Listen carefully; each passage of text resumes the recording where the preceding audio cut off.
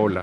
Ahora estás viendo Palabra del Día, una serie de videos en la que te enseñamos a pronunciar algunas palabras en quechua. Así que nuestra palabra del día por hoy es Maran. Maran. Maran.